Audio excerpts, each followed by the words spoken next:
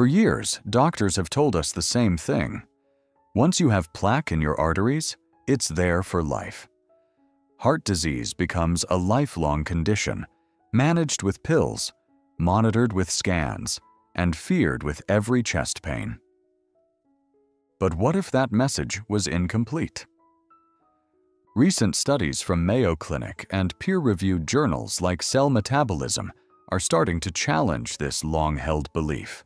Evidence now shows that under the right conditions, your body may have the ability to remove harmful buildup in your arteries and even start to heal the damage. This isn't about a miracle drug. It's not about a new stent or surgery. It's about a natural cellular process inside your body that's been overlooked for decades. It's called autophagy. Autophagy is your body's way of cleaning out damaged cells, removing inflammation-causing debris, and recycling what no longer works. And it plays a critical role in protecting your cardiovascular system. When it's active, it can reduce the very inflammation and dysfunction that leads to heart attacks. When it's dormant, heart disease progresses silently until it's too late. In this video, I'm going to show you exactly how autophagy works, how it's connected to your heart, and most importantly, how you can safely activate it through simple, practical steps. But before we dive in, take a moment to subscribe to this channel we release weekly videos designed specifically for seniors who want science-backed, drug-free strategies to protect their hearts and reclaim control of their health. If you care about your future, or someone you love does, this is information you don't want to miss.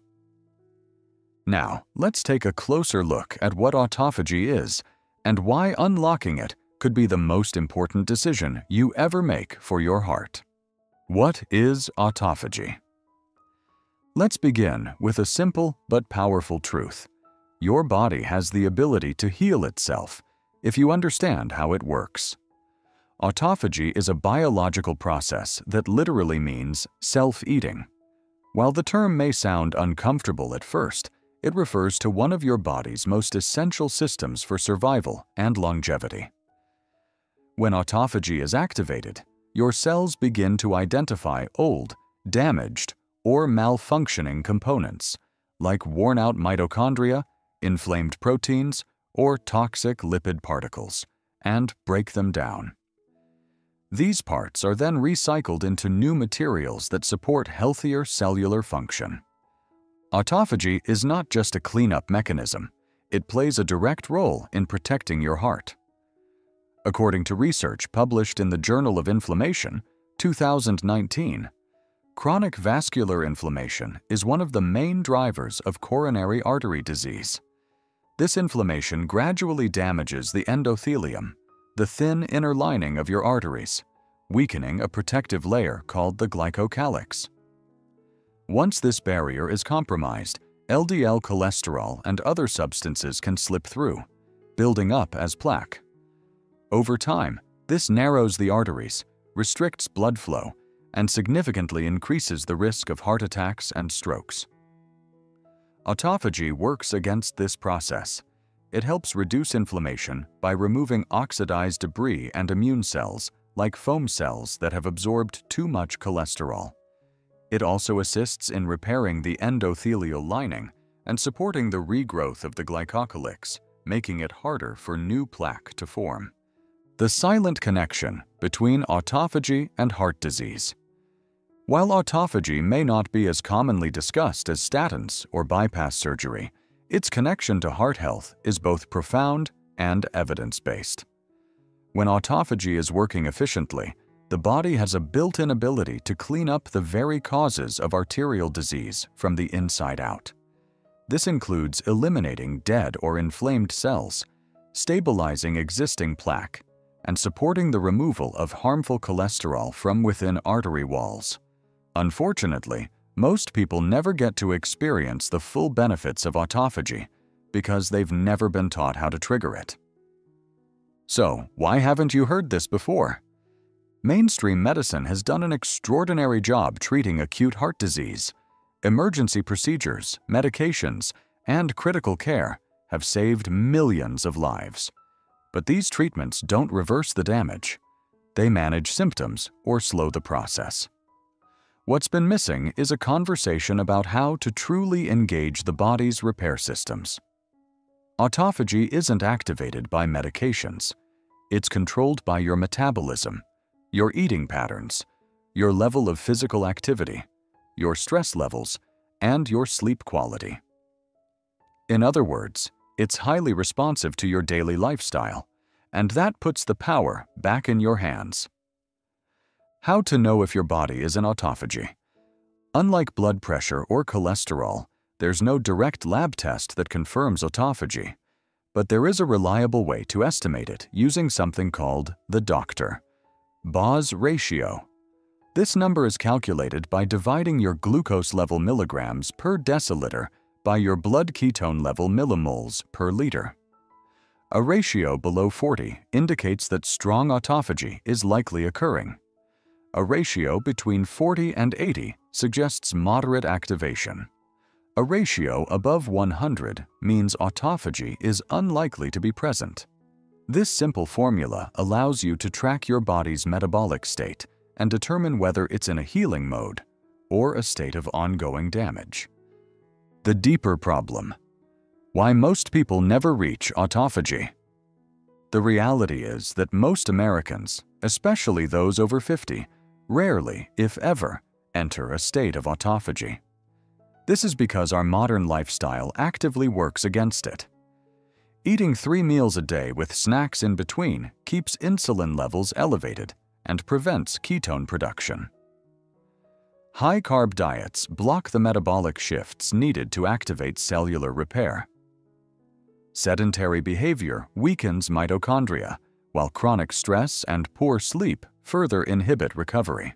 As a result, years of unprocessed inflammation and cellular waste accumulate inside the body, and that includes the arteries. The tragedy is that most people believe their bodies are incapable of healing, when in fact, they've simply never given their cells the conditions they need to do their job. Why this matters. As we age, our bodies naturally produce more cellular waste and experience higher levels of inflammation. The older we get, the more we need autophagy, but the harder it becomes to access it without intention. This is why recent studies from Mayo Clinic and Cell Metabolism emphasize that lifestyle-based autophagy becomes increasingly important after age 60, even if you've had a heart attack even if you're on multiple medications. Even if you've tried and failed with diets in the past, your body still has the potential to recover. The key is knowing how to create the conditions that allow autophagy to activate. And in the next part of this video, we're going to walk you through a three-phase protocol used in clinical practice, combining research-backed techniques with real-world case studies. Because now that you know what autophagy is, and why it matters, the next step is learning how to turn it on. Phase 1 Metabolic Reset Days 1 through 7 The goal of the first phase is to reset your metabolic environment. In most aging bodies, the major barrier to autophagy is persistently high blood sugar and insulin. To address this, the core focus in Phase 1 is reducing total carbohydrate intake to less than 20 grams per day. This low-carb state forces your body to lower insulin, reduce glucose spikes, and begin producing ketones, an alternative fuel that supports cellular repair. During this first week, you will continue eating three meals per day. However, the composition of those meals must change. Lean proteins like fish or chicken healthy fats like olive oil or avocado, and low-carb vegetables such as leafy greens, zucchini, or cauliflower. Eliminate sugar, bread, rice, pasta, cereals, processed snacks, and fruit juices entirely. You can track your progress using a glucose and ketone meter. By calculating your Dr. BOZ ratio, glucose in milligrams per deciliter divided by ketones in millimoles per liter, you'll have a real-time indicator of your body's internal shift. A decreasing ratio signals that autophagy is becoming more likely. Many individuals notice reduced brain fog, more stable energy, better digestion, and deeper sleep within just a few days. This phase lays the foundation. It creates a biochemical shift away from constant sugar burning toward a cleaner, more efficient fuel source, ketones, which your heart and brain prefer as you age. Phase 2. Eating Window Adjustment Days 8 to 14 Once your metabolism has adjusted to burning fat and producing ketones, the next step is adjusting your eating window to allow your body uninterrupted time for repair. In Phase 2, the goal is to shift to two meals per day, consumed within a six-hour window. For example, breakfast at 9 a.m. and a second meal at 3 p.m. This form of time-restricted eating allows for an 18-hour fasting period each day, which gives your insulin levels a chance to drop further and allows autophagy to deepen. Scientific studies on early time-restricted feeding, ETRF, have shown improved insulin sensitivity, reduced nighttime blood pressure, and enhanced endothelial function, factors critical to reversing arterial damage. During this phase, your doctor. BOZ ratio will typically fall below 80, and in some individuals, even under 50. This indicates an increasingly favorable environment for cellular cleanup. Importantly, this isn't starvation. It's strategic energy management. You're not depriving your body. You're giving it space to heal. You may also begin to notice reduced abdominal fat, less joint pain, improved bowel regularity, and a lighter mental state. These are all signals that your inflammatory load is decreasing and autophagy is becoming active. Phase 3. Targeted Autophagy Boost, days 15 to 21. The third and most transformative phase focuses on deepening the autophagic response with targeted metabolic strategies. This begins with a 72-hour sardine fast. Though unusual, this protocol has been used successfully in hundreds of patients by Dr. Annette Bosworth, Dr. Boz, especially those with stubborn metabolic resistance. For three days, you consume only sardines packed in olive oil. No sauces, no additives, no sugar. Sardines are a nearly perfect food for this purpose. High in protein, high in omega-3s, low in carbohydrates, and easy to digest. The low caloric load and minimal insulin response force your body to produce large amounts of ketones while keeping glucose low. The result? A powerful stimulation of autophagy. In one 19-day observational study of 200 patients, more than 70% achieved a Dr. Boz ratio under 40 during or immediately after the sardine fast. For those who tolerate the sardine fast well and want to go further, a gentle 24 to 72 hour water-only fast can be introduced under supervision. During this period, only water and mineral salts, like sodium, potassium, magnesium, are consumed. This pushes the body into a deeply restorative state, further clearing damaged cells enhancing mitochondrial function and allowing the vascular system to remodel and repair. Please note, anyone with diabetes, kidney disease, or on medications should consult their doctor before starting this phase. It is powerful, but not for everyone. Safety and personalization are key. By the end of this three-week plan, many participants report dramatic improvements not just in how they feel, but in measurable health markers. These include lower fasting blood sugar, reduced blood pressure, improved cholesterol ratios, smaller waistlines, and lower levels of systemic inflammation. More importantly, what's happening beneath the surface is even more compelling. The endothelial lining of your arteries begins to repair.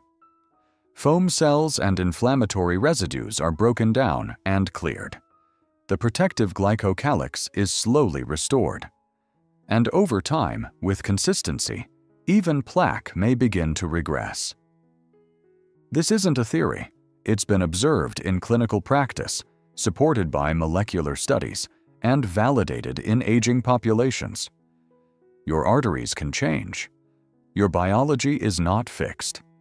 Many seniors have been told it's too late, that their condition is chronic, that medications are the only answer, and that all they can do is hope for the best. But that narrative is incomplete. The truth is, the body still wants to heal. It just needs the opportunity. You don't need to do everything perfectly. You just need to begin. One step, one meal, one decision at a time. The protocol you've just learned isn't just about reversing disease, it's about reclaiming your power. Because when you learn how to work with your biology, not against it, your heart begins to respond in ways you may not have believed possible. Take, for example, Robert, a 67-year-old retired firefighter with a history of high blood pressure and coronary artery disease. After completing a three-week program based on the exact phases outlined in this video, including a sardine fast and early time-restricted eating, Robert lowered his fasting glucose from 132 to 96, increased his ketone levels, and achieved a Dr. Boz ratio of 38. More importantly, he reported fewer chest tightness episodes and improved energy during his morning walks. His cardiologist reduced his blood pressure medication within two months. How you can start today and inspire others to heal with you. You've now learned that autophagy is real, that it's measurable, and that it can play a powerful role in reversing the damage caused by heart disease. But knowing is not enough. To create change, you have to act. And the good news is, the first step is far simpler than you think. You don't need to transform your life overnight. You don't need to fast for three days right away or track every gram of food you eat. What you need to do is begin. Today, start with one commitment. That could mean cutting added sugars from your next meal. It could be skipping snacks between breakfast and lunch, or going for a 10-minute walk after dinner. It could be setting an alarm to remind you to stop eating by 6 p.m. These may seem like small decisions, but they are metabolic signals. And when you send the right signals, your body listens. The key is consistency, not perfection. You don't need to get your doctor. BOZ ratio under 40 in the first week. What matters is that you begin to lower it. Track your glucose and ketones once a day Keep a simple journal. Notice how your body changes. These small daily observations can be deeply motivating. They remind you that healing is happening, even when it's invisible. And don't do this alone. One of the most overlooked factors in heart recovery is community. Studies consistently show that people who engage in shared goals, whether that's walking with a neighbor, attending a support group, or simply commenting on a video, have better outcomes. That's why we encourage you to be part of this growing community of people taking back control of their health through knowledge and action. Leave a comment below. Have you ever tried fasting? Have you tracked your ketones? What's your doctor? BOZ ratio today? When you share your experience, you not only create accountability for yourself, you might also become the encouragement someone else needs to begin. You never know whose life you'll touch. And if this video helped you understand something you've never heard from your doctor, take a moment now to subscribe to this channel. We release new content every week, designed especially for people over 50, combining the latest research with practical guidance for long-term heart health. Subscribing doesn't just help you stay informed, it helps others find this content too.